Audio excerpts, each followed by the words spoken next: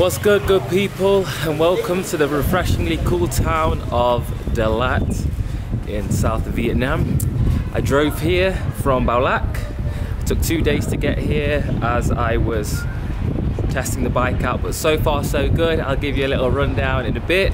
But today I'm going to explore the town. I'm not going to lie, I've had a bit of uh, adventure fatigue recently, but I'm back on it. I've got a lot to see and I've got not a lot of time, especially on this bike to get across Vietnam. It's a lot bigger than I imagined, but I'm in good spirits. But this morning is sort of slow. I'm gonna read my book a little bit and get a coffee, and then we're gonna get on the bike and go and explore this town. It's so nice, it's in the mountains, it's cool, I can finally wear a jumper again. And we're gonna see, you know, the, the Southeast Asian things. Waterfalls, maybe a temple, and maybe even a coffee plantation, which I'm actually quite excited to see. So, anyway, coffee time.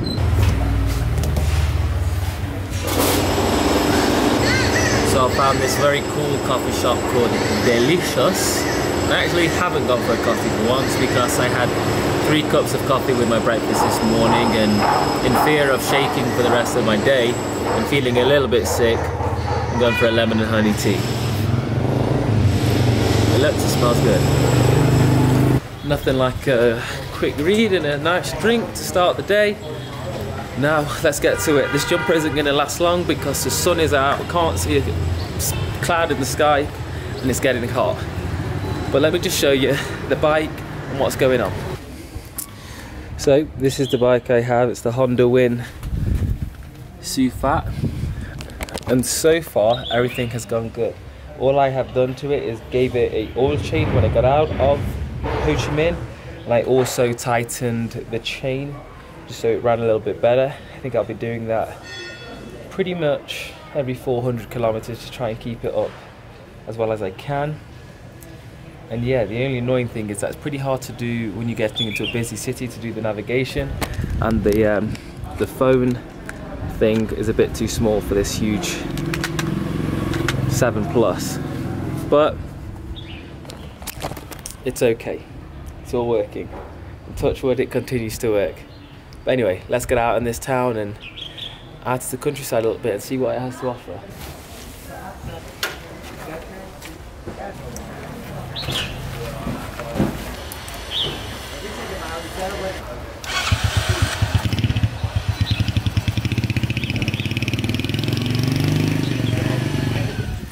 So, first stop finally exploring in the countryside and take a look at this.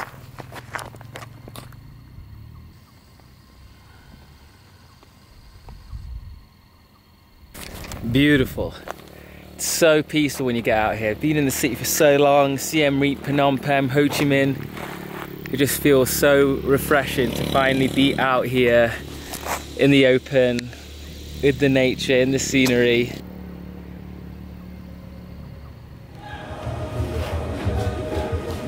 So, stop number two today is the Nay Moi uh, Coffee Gardens.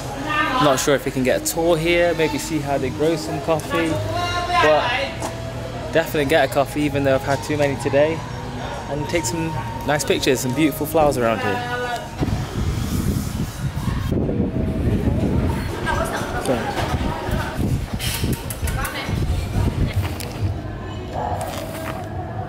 So I'm not exactly sure, I'm still trying to look for someone to explain, but there's something to do with weasels and their poop in the way the coffee is made here. Don't quite understand it.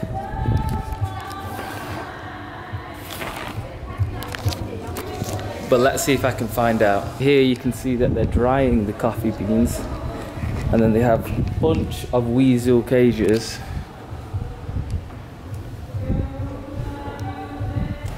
heard it's something to do with pooping out the coffee beans. And then I guess they're dried here and then you eat, drink them? I gotta find this out. I gotta. Do you want to smell? Yes, please. Do you want to smell? Yes, please. Yes. One, two, three. Weasel coffee. Can you explain to me how this weasel coffee? Weasel coffee. Yeah, how how what makes it weasel coffee? They eat the coffee beans, Okay. the fresh one, and then after that they Do like they pull it down. Then we use that to make the coffee. Really? Yeah, that we call. And then weasel. do you clean it or? yeah, we have to clean it and after processing. So why do you, why why is it better taste if Yeah, they eat it? Like um, like depend on the Indonesia researcher. Yeah. They found it is less caffeine than the normal coffee. Oh, so it's less amount of coffee because they've eaten it. Yeah, because they eat Ah. in, in the stomach of the weasel, they have some enzyme or acid like to reduce them. Ah, so they're not as strong. Yeah, it's not too strong. Okay. Well, I think I have to try some of the Yeah, weasel weasel coffee. coffee. Which one is your favorite out of the mocha cherry and Like, most people they prefer the mocha one. the mocha? Okay, I'll try a mocha weasel coffee. So I have my answer. I don't know why they always love to just blast loud music everywhere. But anyway, weasel coffee. So apparently, due to Indonesian research, from the weasel eating the coffee and then pooping out, it makes it a little uh, less stronger. I'm guessing it adds a different type of flavour that is very good. So I'm gonna try. I'm gonna try the weasel mocha coffee, and yeah, I'll give you my review. But yeah, they had some amazing other flavors as well. Just regular coffee with uh, like added added butter and the beans smelled so strong. It was delicious. If you know how much I like coffee, it's, I'm excited to try this one. So it's presented like this. You've got a the ice because I'm having an iced coffee in a little filter situation. You can see in here the coffee is brewing, oh, nice hot, and it's pouring very, very slowly. And then we've got some sugar, but I don't need that. Yeah, hopefully it starts to speed up a bit and I can actually drink this weasel coffee today. Five minutes later, and it's apparently done.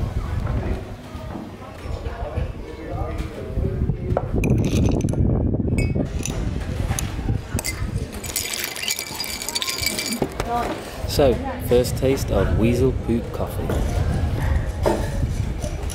smells pretty good.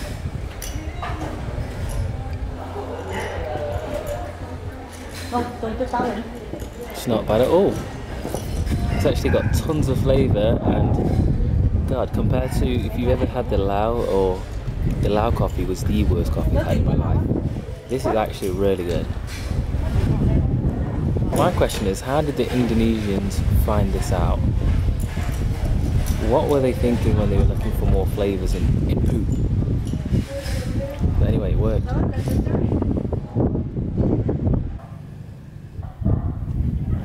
Dalat is known as the town of flowers as well. I think you can see why everywhere you go there's just all different colours, beautiful flowers everywhere. But anyway, weasel poop coffee done. Now to the elephant waterfalls. Very animal based day. So just a short drive up to the elephant waterfall. Next stop. One thing about here in South Vietnam is as much as it's very well travelled by uh, Westerners and English people, there is literally no English sign. So a lot of the time, I ring around like, oh, is this actually what it is? I can't hear it. Maybe, maybe not. Anyway, we found it, and that's why I use Maps.me. So let's go check out this waterfall. Becoming a bit of a waterfall expert on this trip, but this is a pretty good one.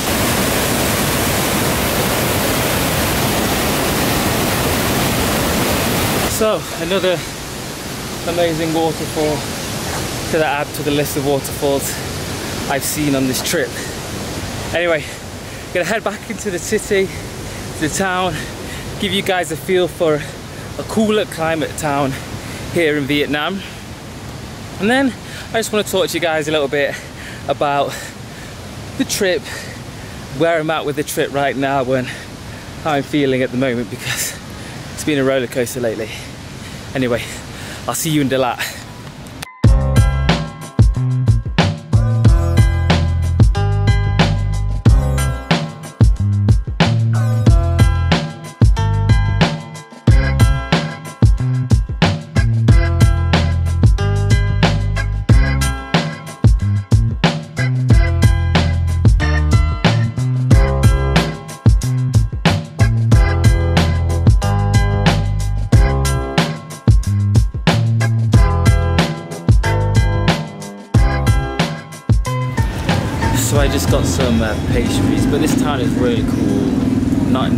Weather, but it's very much French influence. It's known as a honeymoon town. So a lot of people come here and get married and enjoy their time in the cooler climate. But anyway, it's been a full day again, and it's been good to finally kind of get out of the crazy cities. I mean, it is a bit crazy here. I think the traffic is still a bit too much, but it's been a lot nicer than being in Phnom Penh or Ho Chi Minh City or Siem Reap, where it's just utter madness. Been really, really nice just get on the bike and not be going from destination to destination, but just enjoying the place. I mean, I I saw another waterfall I've seen a million, but it was still nice to go there and see these things and especially try the coffee. It's actually pretty good because I think the big cities they just tired me out. I was getting a real serious case of adventure fatigue thinking, God, I've got to go here, I've got to go here. We're moving every two or three days, you know. It really, you know, wears on the body. And now, with time running down and me trying to get across the country and trying to see everything, I'm kind of, you know, trying to figure out what's the best way to do it, how much do I want to push myself. But like my mum said, she said, you don't have to do everything, just do what you do well. So maybe a case of just trying to get up to Hanoi in a certain amount of time and then I might try and sell the bike there and maybe take the bus to Sapa. If I have enough time and the bus to Halong Bay which I definitely will do. But yeah it's been a good vlog. And it's been good to make these vlogs. These vlogs have been keeping me really focused. Because even when I'm down and I'm tired I still think I want to make a vlog. I have a goal in mind for how many videos I want to make. And it just forced me to go out there and look at things in a different way look back on things that I've done already and just give myself the best experience to really enjoy my travels. So if you've been watching them and you've been supporting me or like giving me good feedback, I really, really appreciate it because it definitely helps when times aren't so good. But today has been very good and I will see you guys in the next vlog. So from me, take it easy as always.